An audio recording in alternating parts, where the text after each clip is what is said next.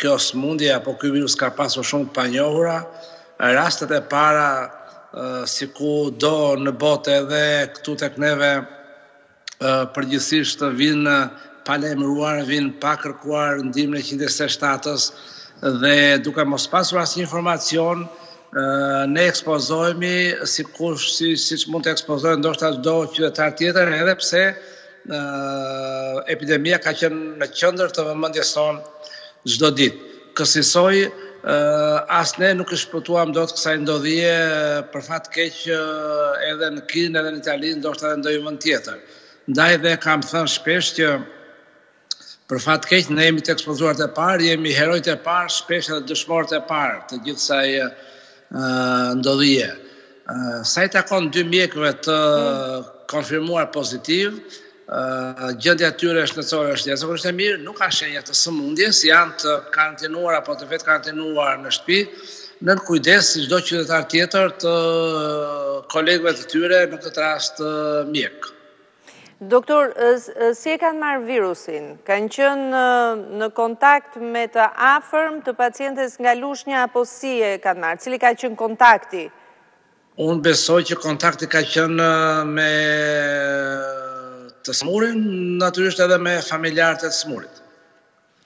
Doktor, do doja një mesazh nga ju, sepse kemi patur raste ku njerëzit nuk tregojnë historinë e udhëtimit. Për fat keq janë mosha të thyera, nuk mund të bëjmë gjyqin askujt, por në një situatë ku jemi përgjegjës jo vetëm për jetën tonë, është një epidemi globale. Njerëzimi po përballet me një virus shumë inteligjent, përballë të cilit nuk po gjen dot zgjidhjen. Ju lutem do doja një mesazh për njerëzit që kanë simptomat e koronavirusit dhe nuk tregojnë kontaktet dhe udhëtimin dhe gjurmët e udhëtimit të tyre. Mesazhi im do thosha ka qenë thuajse i përditshëm përmes mediave, sepse e kam theksuar, vazhdoj ta theksoj, është ndoshta e vetmja dritare ku ne mund të komunikojmë me qytetarët krahas natyrisht shumë rrugëve të tjera të komunikimit. Por mesazhi im për të gjithë qytetarët, veçanërisht për ata që kanë udhëtuar atje ku ka transmetim komunitar të sëmundjes, sikundër është Italia, apo dhe gjithë vendet e tjera të Europës tashmë. Ata që kanë pasur kontakte të afërta apo me rrethin e ngushtë të personave tashmë të konfirmuar pozitivë apo të sëmurë dhe të shtruar në spital, do ju lutesha shumë që në çdo rast që do kenë shqetësime apo ankesa shëndetësore t'i drejtohen njëqind e njëzet e shtatës dhe të mos i drejtohen me vrap spitalit sepse na vënë në pozitë të vështirë. Kësisoj, ata nuk mbrojnë as veten, nuk mbrojnë as të tjerët, nuk na mbrojnë as ne. Dhe duke na ekspozuar ne, duke mos na mbrojtur ne, do jemi të pamundur të japim shërbim atyre që kanë nevojë më shumë se kurrë këto ditë për shërbimin dhe kujdesin tonë çdo ditë në spital. Ndaj, sinqerisht të gjithë atyre personave që kanë pasur kontakt me rastet e konfirmuara, me ato që tashmë i kemi të shtruar apo të karantinuar në shpi, ju lutem shumë të vetëkarantinohen dhe të njoftojnë institucionet shëndetësore, të vetëkarantinohen sa më shpejt të jetë e mundur, duhet të ishin karantinuar, sepse e vetmja rrugë për të kufizuar epideminë, është shmangia e kontakteve, shmangia e lëvizjeve, vetëkarantinimi Konsulta apo thirrja në numrin njëqind e njëzet e shtatë. Sa i, sa i takon virusit, ju e përmendët me shumë inteligjencë që ky është një virus inteligjent, vërtet është inteligjent, ka shumë të panjohura, por fatmirësisht është lehtësisht i parandalueshëm dhe i shkatërrueshëm, shkatërrohet shumë shpejt nga uji dhe nga sapuni.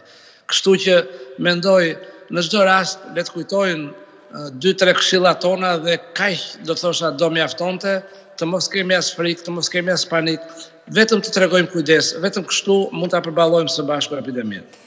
Në një intervistë që kemi patur ditë më parë, ju në fakt shpjeguat mënyrën se si përhapej virusi dhe thatë që do të të jenë rreth tridhjetë të prekur, por tani me këtë përhapje që ka marrë virusi, dhe duke qenë se ne të gjithë e shohim metodologjinë e Koronës, që kjo javë që kemi përpara do të jetë java ku ne do kuptojmë ku jemi dhe java tjetër do të jetë java që do të përballemi me atë që po vjen, sa mendon doktor me një arsyetim racional, sa është numri i të prekurve, numri real i të prekurve, dhe të lutem më thuaj një shifër që ti mendon vërtet, sepse nuk ka më vend për t'u fshehur.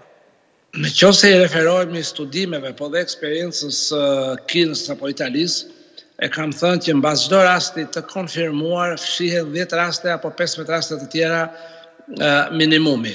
Pra që sepse ne sot njohim raste të cilët o u është bërë analiza o kanë pasur ankesa mjekësore të konfirmuar dhe të smurë.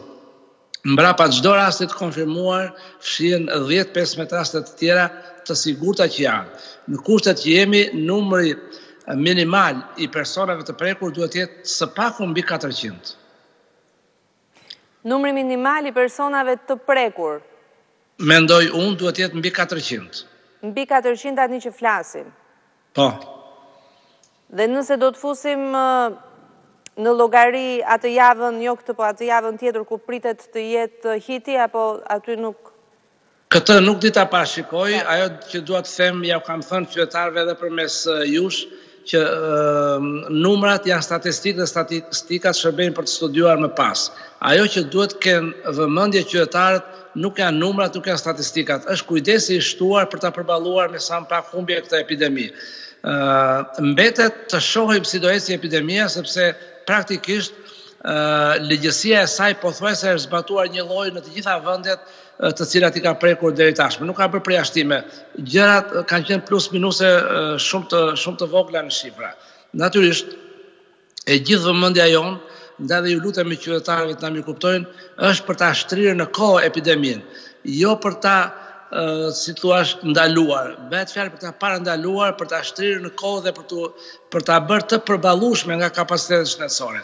Të gjithë e pamë dhe po e shohim se asnjë vend në botë, sado i sofistikuar të jetë, nuk i ka kapacitetet maksimale për të përballuar një epidemi në shkallë të gjerë sikundër është kjo e koronavirusit këtë vit.